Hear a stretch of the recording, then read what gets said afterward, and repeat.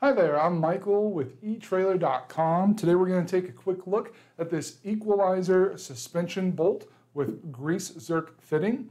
Uh, this suspension bolt is going to attach your equalizer to the center hanger for your tandem or triple axle applications. The built-in grease zerk is going to make it very simple for you to hook up your grease gun, pump some grease through there, and make sure everything is well lubricated. Uh, this is a grade 5 bolt. It is going to be right at five and a quarter of an inch in length and one inch in diameter.